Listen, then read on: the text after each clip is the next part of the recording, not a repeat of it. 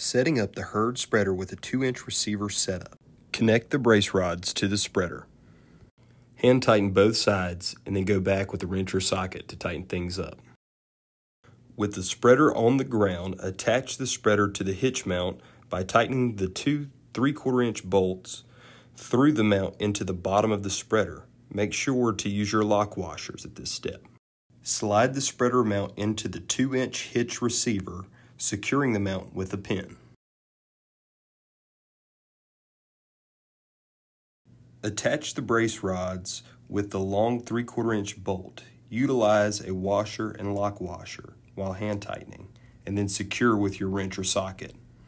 Now connect the auxiliary power to the vehicle's outlet or into the provided battery with outlet. Turn the spreader on by pulling the yellow knob. To open the spreader, you pull the rope mechanism. You are now set up to make your application.